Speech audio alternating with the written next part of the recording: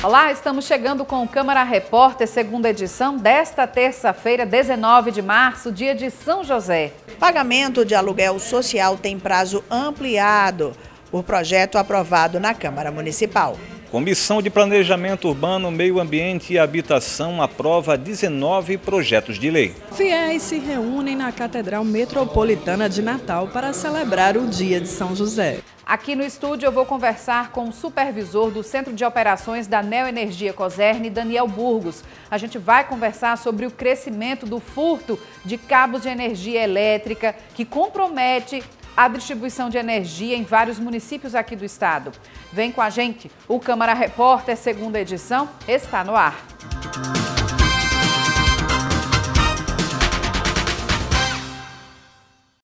A gente começa com as notícias da Câmara. Na sessão ordinária da tarde desta terça-feira, os vereadores aprovaram um projeto de lei que prevê a ampliação do prazo de pagamento do aluguel social. A Câmara Municipal de Natal aprovou a ampliação do prazo de pagamento do chamado aluguel social, de um para dois anos, ou enquanto a situação de vulnerabilidade persistir. A matéria de autoria do vereador Daniel Valença passou em segunda discussão. Nós alteramos um benefício eventual que é o do aluguel social. Na legislação atual, ele tem durabilidade de seis meses, podendo ser prorrogável por mais seis, ou seja, um ano. Na nossa avaliação, e isto foi feito em conjunto com o Movimento Nacional de População em Situação de Rua, em diálogos com o Ministério Público, com a Defensoria Pública, esse prazo ele é muito curto. As pessoas que recebem aluguel, em regra, não têm acesso à porta de saída da pobreza, da vulnerabilidade. Então, nós elaboramos um projeto de lei alterando esta anterior, aumentando o prazo do aluguel social para 24 meses ou enquanto perdurar a vulnerabilidade. A criação de um núcleo de assistência multidisciplinar voltado para pessoas do espectro autista e com síndrome de Down foi a proposta do vereador Ranieri Barbosa, aceita pelo parlamento. Este núcleo, ele vem exatamente a estabelecer a assistência a, esse, a essa população e muito mais, a, o alcance dele se torna relevante, por quê?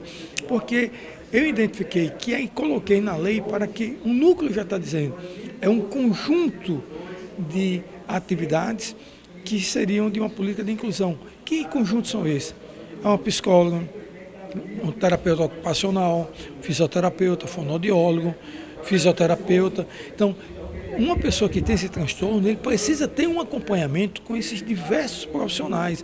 Por isso que um núcleo que Natal não tem, passa a ter por lei e dentro de uma política da assistência social, dentro de uma política de inclusão social, teremos uma lei que eu espero que seja regulamentada por uma próxima gestão e que venha realmente a sua execução para oferecer realmente um serviço de inclusão. Estabelecimentos públicos e privados de saúde terão de garantir o direito das mulheres terem um acompanhante de sua escolha durante exames, procedimentos e consultas, incluindo ginecológicas. A vereadora Júlia Arruda subscreveu o projeto. É extremamente importante esse projeto de lei de autoria do vereador Kleber Fernandes, que diz muito sobre o nosso universo do ser mulher, das vulnerabilidades né, e das situações que nós enfrentamos diariamente, inclusive num, numa situação de um exame, uma consulta, algum procedimento que fica facultativa a mulher, se ela quiser um acompanhante, ter esse acompanhante para acompanhar né, todo o procedimento, o processo. Infelizmente, precisamos de uma lei dessa para nos assegurar o nosso direito, resguardar a vida dessas mulheres e não tolerar nenhum tipo de violação. Outros dois projetos foram aprovados em segunda discussão. O da vereadora Ana Paula institui uma rede municipal de acolhida e proteção a órfãos de feminicídio e vítimas de violência doméstica. Já o projeto do vereador Aldo Clemente obriga os planos de saúde a fornecer um comprovante quando houver a negativa do atendimento. Veja agora os destaques da reunião da Comissão de Planejamento. Um dos projetos aprovados na Comissão de Planejamento obriga a Urbana a disponibilizar o serviço de coleta especial a todos os solicitantes sem nenhuma espécie de remuneração extra. A matéria pertence ao vereador Preto Aquino. A coleta especial trata diretamente materiais como entulhos e metralhas, certo? E podas serem recolhidos pela urbana uma vez por ano de forma gratuita. Esse serviço hoje é realizado, mas paga-se o valor de 80 reais. Cada contribuinte vai ter direito, pelo seu endereço, de realizar até por ano uma oferta dessa. Eu trato, de certa forma, a oferta. Vai diminuir consideravelmente o número de, de, de, de material jogado em terrenos baldios da nossa cidade. Outro projeto aprovado institui a obrigatoriedade da implantação de compostagem nos condomínios residenciais verticais novos da cidade. A proposta é do vereador Kleber Fernandes. A ideia é ter uma iniciativa de sustentabilidade, de incentivar os novos condomínios a é, promoverem essa metodologia de compostagem, é, o que reflete na questão ambiental e também de acordo com a Agenda 2030 estabelecida é, pela ONU, que é, implementa uma série de objetivos de desenvolvimento sustentável, né, dentre eles é, é esse tipo de iniciativa que nós aqui propusemos. Ainda na comissão foi aprovado o projeto que determina que a prefeitura construa baias recuadas em pontos de ônibus de ruas e avenidas da capital potiguar. A matéria também pertence ao vereador Preto Aquino. Tem locais onde os ônibus param que para, chega a parar até um lado da via. Aonde for possível, aonde for possível, se fazer a baia, que é, é para poder de certa forma, encostar o ônibus sem ter risco, principalmente para quem vai subir ou quem vai descer os transportes, é fundamental que vai diminuir consideravelmente o número de acidentes. A venda de material escolar nas instituições de ensino foi um dos debates colocado em pauta na reunião da Comissão de Defesa do Consumidor. Durante a reunião da Comissão de Defesa do Direito do Consumidor, os parlamentares realizaram um debate com o PROCON e lojistas sobre a venda de material escolar nas instituições de ensino. Ao final, foi agendada uma nova reunião na sede do PROCON que deverá ocorrer na primeira quinzena de abril. Nós identificamos há um ano, quando recebemos a denúncia de algumas livrarias do ramo de varejo aqui da cidade, que de que existia sim uma suposta venda casada desses materiais escolares nas próprias instituições de ensino, que ofertava a matrícula e a taxa de material, e que essa, esse material que era pago, incluso nessa taxa, não chegava na bolsa daquele aluno.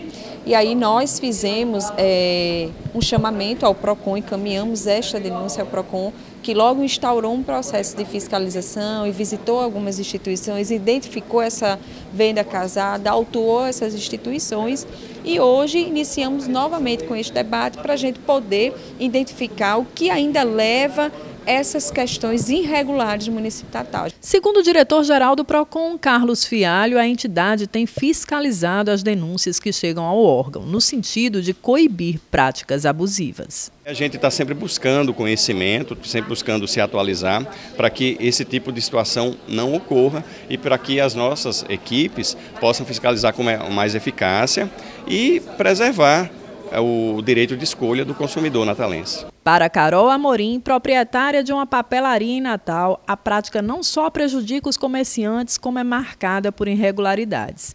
Entre elas, a ausência do valor discriminado de cada item do material vendido nas escolas e da emissão de nota fiscal dos produtos a gente paga o imposto de ICMS, que é o imposto de entrada da mercadoria, e a gente paga o imposto de saída quando a gente vende essa mercadoria para o consumidor final. E as listas de, de, escolares, com os preços que as escolas passam, elas não alcançam nem o preço de, de compra da nossa mercadoria direto de fábrica. Então, é impossível de ser batido. A gente espera que, no final de tudo, saia ganhando aí o consumidor. Né? Todos nós somos consumidores e a gente espera isso, né? que isso possa baratear no bolso do consumidor, pai de família, que precisa colocar seu filho numa instituição de ensino particular. A família da paratleta potiguar Joana Neves, que morreu nesta segunda-feira, vítima de uma parada cardiorrespiratória em São Paulo, informou que o velório de Joaninha está previsto para começar às 8 da noite desta terça, no centro de velório da Avenida São José. Na manhã desta quarta-feira, às 8 e meia da manhã, o corpo de Joana Neves seguirá em carro aberto do Corpo de Bombeiros para o sepultamento no cemitério do Bom Pastor. A seguir, dia de São José é celebrado por fiéis católicos. Nós voltamos já. Diagnóstico precoce. Game over no câncer infanto-juvenil. A regra do jogo é saber identificar os alertas. Osteosarcoma. Fique atento aos principais sinais e sintomas. Calor e vermelhidão no local, dorócia e inchaço. Procure um médico. Casa Durval Paiva. Juntos pelo diagnóstico precoce para vencer.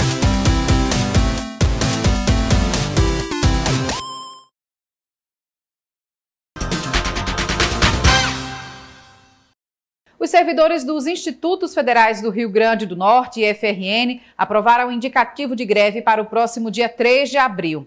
A decisão foi tomada durante a plenária nacional do Sindicato dos Servidores Federais na Educação Básica, Profissional e Tecnológica, que teve por objetivo discutir sobre a paralisação nacional e os planos de mobilização da categoria. A principal reivindicação dos servidores é a recomposição salarial de 34,22% para os técnicos, isso dentro do plano de carreira, e também de 22,71% para os docentes da carreira do ensino básico, técnico e tecnológico. O Grupo Reviver, em parceria com a Secretaria Municipal de Saúde, realiza exames de mamografia gratuitos no bairro Planalto. Hugo Fernandes tem as informações. Os serviços de mamografia estão sendo ofertados até a próxima sexta na Unidade Básica de Saúde Ronaldo Machado, localizada na Rua Desportista Arthur Veiga, número 145, no bairro Planalto, na zona oeste de Natal. O atendimento acontece das 7h30 da manhã até as 4h30 da tarde. Mulheres com idade a partir de 40 anos podem procurar o local de atendimento apresentando RG, CPF, cartão do SUS e comprovante de residência. Lembrando que não precisa da solicitação de exame para receber o atendimento. O SUS recomenda a mamografia de rastreamento a cada dois anos, mesmo sem a presença de sintomas, para mulheres com idade entre 50 e 69 anos.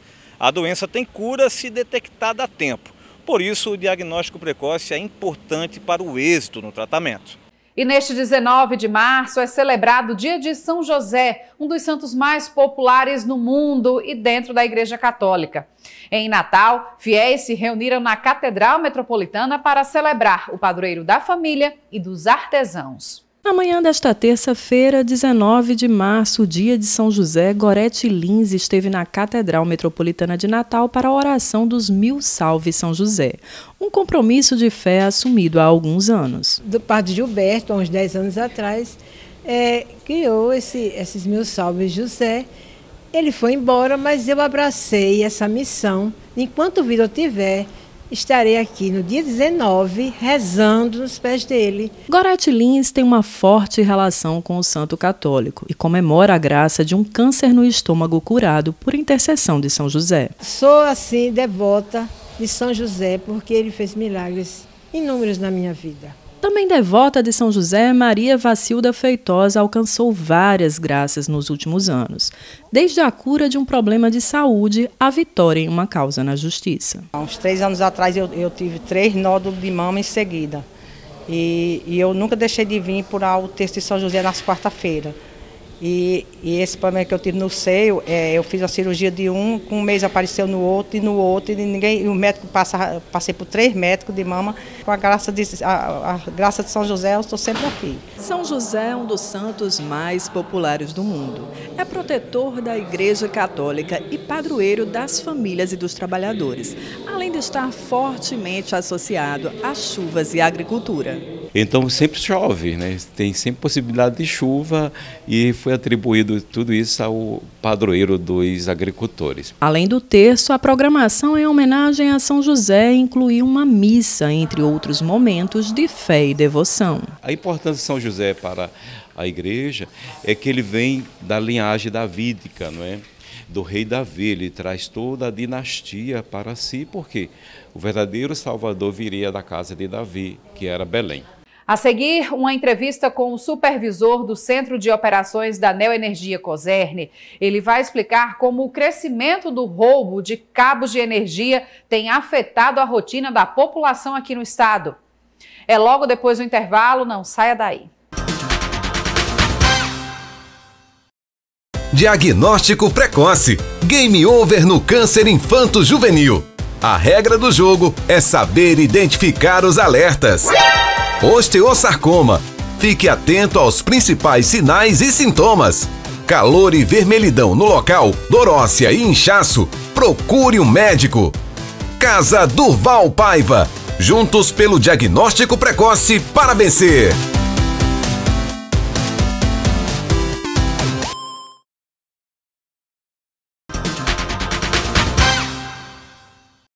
Estamos de volta com o Câmara Repórter, recebendo aqui no estúdio o supervisor do Centro de Operações da Neoenergia, o engenheiro eletricista Daniel Burgos, para conversar com a gente sobre um problema crescente que tem afetado a distribuição de energia aqui no Rio Grande do Norte, que é o roubo né, de furto e furto de cabos de energia elétrica. Daniel, seja muito bem-vindo aqui para falar sobre esse assunto que afeta a vida de todo mundo, no fim das contas, né? Obrigado, Larissa e todos os telespectadores da TV Câmara.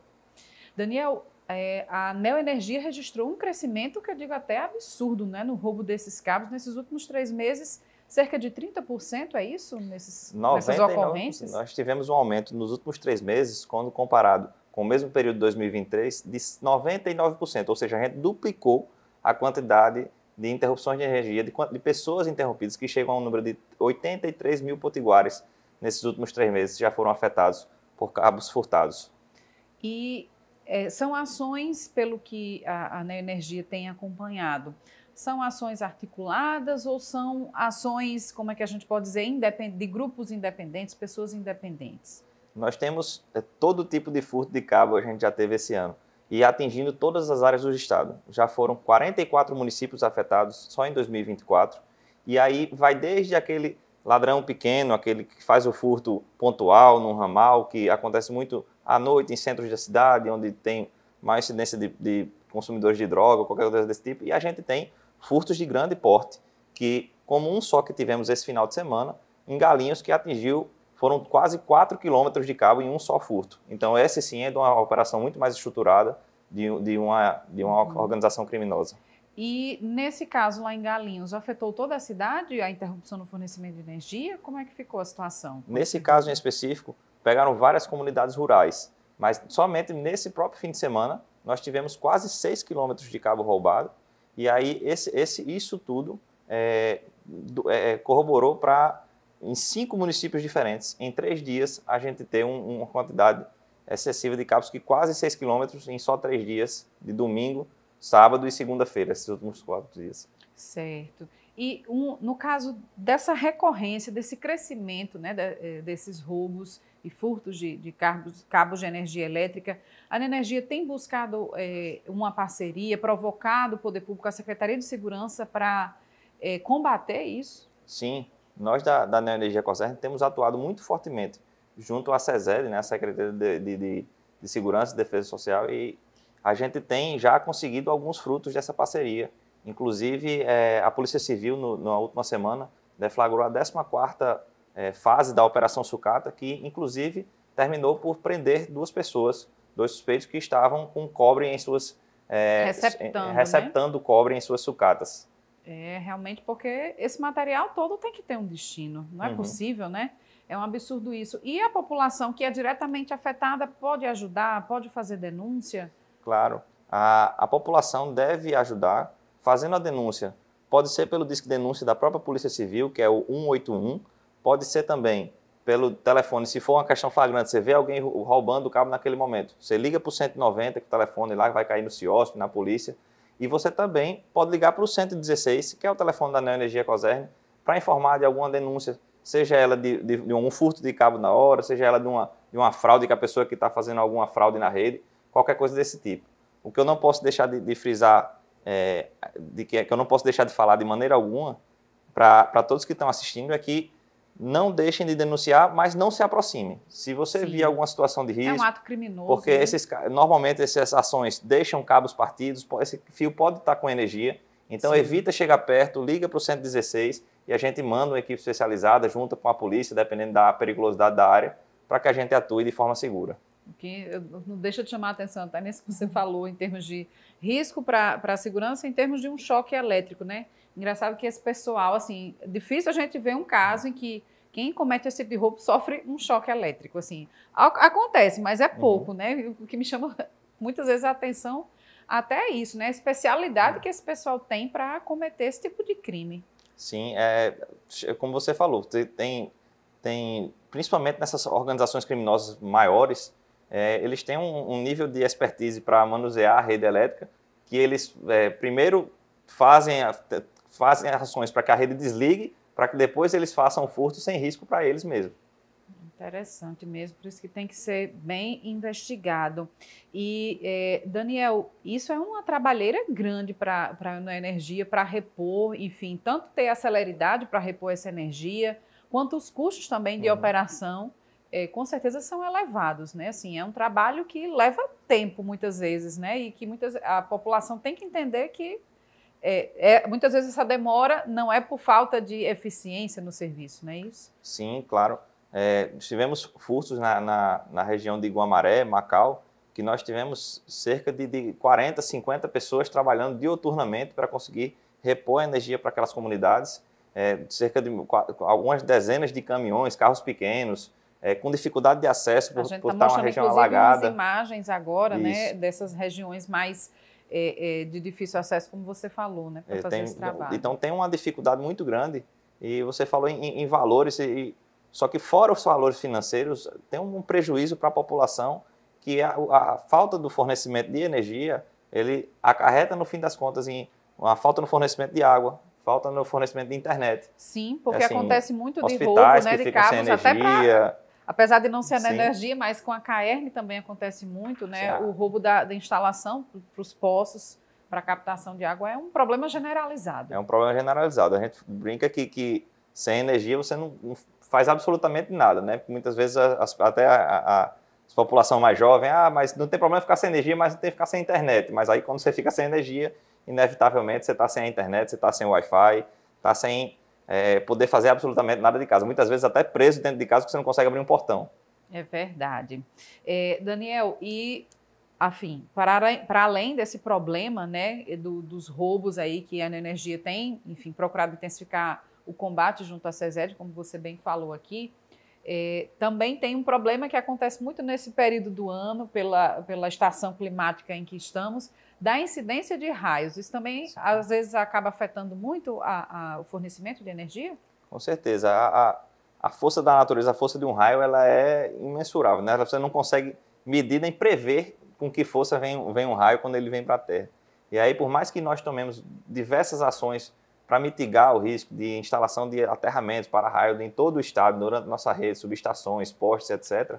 Mesmo assim, ele, ele causa interrupções de fornecimento e causa também alguns riscos à população.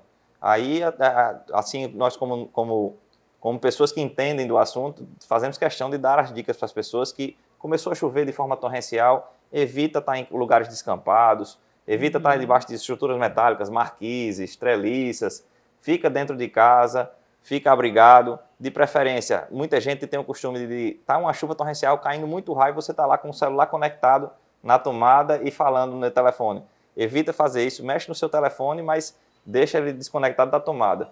Que é até uma, uma, uma dica, independente de estar tá chovendo ou não, você não mexer no seu celular enquanto ele está conectado à tomada. Isso é causa um risco muito mesmo. grande, até de curto-circuito, incêndio e choque elétrico também. É, Daniel, e falando de estação climática, como melhorar a, a, eficiência né, do uso da energia nesse período em que a gente sabe que demanda muito aí, quem está em casa é ventilador, é ar-condicionado, os próprios equipamentos elétricos na geladeira para, enfim, refrigerar tudo. Como melhorar essa eficiência para economizar mais um pouquinho, tentar pelo Sim. menos. Nós temos diversas dicas lá, assim, uma, uma, algumas das, das que a gente mais dá é que mantenha o ventilador limpo, mantenha o ar-condicionado limpo, usa o ar-condicionado na temperatura 23 e usa o timer para ele desligar na metade da noite. Você vai lá e liga o ventilador, então já deixa ligado. Então isso já evita metade da noite com o ar-condicionado ligado. Outra dica que a gente está é que revisa as instalações elétricas. Uma instalação é, já antiga, que ela está previsando de revisão, ela pode consumir até 10% a mais do que uma instalação nova. Ah, outra coisa, faz o teste da, da borracha da geladeira. Vê se a geladeira está fechando direitinho. Como é que eu faço esse teste? Coloca uma folha de papel essa como essa que você tem, coloca na porta e fecha a porta da geladeira. Se ela cair, quer dizer que a borracha não está tão boa, está precisando de uma revisão naquela borracha. Esse simples fato já, já evita algumas, uhum. algumas coisas e Para quem ainda não fez isso, que troca suas, suas lâmpadas, suas luminárias em casa por LED, porque ela pode ter um consumo até 90% menor do que algumas lâmpadas antigas convencionais. Com certeza.